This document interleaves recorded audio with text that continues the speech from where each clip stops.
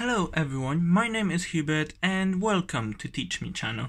Today we'll be looking at GCSE biology risk factors in non-communicable diseases.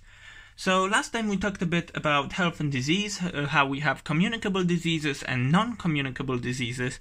Today we'll be focusing a bit more on uh, non-communicable diseases, but in particular we'll be looking at risk factors. So I will explain what risk factors are, and how how they affect non-communicable diseases and how it all works together. Again, it will be a bit of a the discussion type of a video, so I decided to lay this one out as well as a mind map. So without further ado, let's get started. So first of all, here we have risk factors. What are risk factors? Risk factors are certain factors, certain uh, lifestyle choices, or uh, genetic factors, natural factors that that uh, increase the risk of di- getting a certain disease, but they do not um, ensure that you will get a disease. So. So they increase the chance, so they make you more likely to get a certain disease, but they do not ensure that. They will they are not 100% type of a thing. So, let's have a look at how risk factors essentially work and what how they can be classified. So first of all, we have um, natural factors such as genetics or or even um, which could be single genes or it could be multiple genes working together to convey the said risk factor or it could be lifestyle factors such as exercise and uh, diet. So, for example, lack of uh, exercise and a high fat, high sugar diet increases is a risk factor for type 2 diabetes. Conversely, a lot of exercise and a healthy balanced diet reduces the risk of someone getting type 2 diabetes. But like I said, it's a risk factor. So if somebody ha- leads a sedentary lifestyle and uh, has a diet high in fats and sugars, that does not necessarily mean that they will get type 2 diabetes. It's just that they are at a higher risk of getting that disease, unfortunately. So, lifestyle plays a very big factor in terms of risk of people getting various diseases. Now, another type of risk factor could be environment. So, things such as air pollution and asbestos. So even if somebody doesn't, uh, even if somebody has a what we would consider an active and uh, lifestyle and balanced diet, they still may be exposed to higher risk of getting certain diseases due to the environment that they live in, such as uh, if somebody lives in a polluted city with air pollution, they of course uh, have higher risk for for getting various cancers and things as such. And same with asbestos. If people breathe in asbestos regularly, that uh, damages their lungs, uh, lung fiber, that damages their lung fibers, and also can down the line increase their risk of getting cancer. Unfortunately, and again, that's not a 100% given thing. That's just a risk factor. So, of course, these risk factors interact so that's very important because uh, usually, if somebody gets a certain disease, it's not due to them sort of uh, exhibiting a single risk factor. It's usually a number of risk factors working together. So, for example, a person could come in uh, and be unfortunately diagnosed with a cancer, and usually it will not be because of one single um, risk factor that they exhibited. It may not be just because uh, they um, they were obese. It may actually be a number of things coming together, and that's the most common reason. Number of things coming together that increase the risk of a disease, and then eventually leading to person having the said disease. So that person could, for example, be obese and they could be smoking and also they could be drinking a lot, which all three of these are risk factors for for cancer. So this is very important to see how these risk factors interact together and how it's usually not a single risk factor but a number of risk factors acting together on an individual.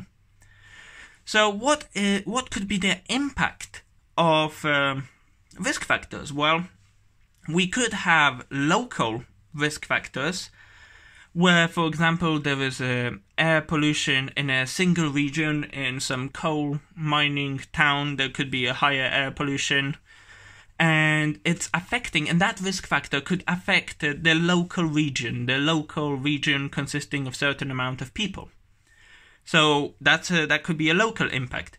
L- impact could also be national. So, for example, a nationwide pollution, uh, a nationwide air pollution uh, from large scale operations that impact the quality of air, uh, use of cars that do not have all the necessary filtration systems in place that minimize the air pollution emitted by cars. And in such case, we could get actually air pollution, but on a national level. And we could go one further. We could get air pollution on a global level. For example, if a massive, massive, massive volcano erupted at some point, it could, for a certain amount of time, globally affect the air pollution levels on a global scale. So, this is important consideration that the single risk factor may have different impacts. It may impact people, a single individual, or it may be a local impact, it may be a national impact, or it may be a global impact. So, the next thing to discuss in terms of risk factors is the cause. So, we, we have certain risk factors that directly contribute to the development of the disease. They have a direct cause, they act as a direct cause of the disease.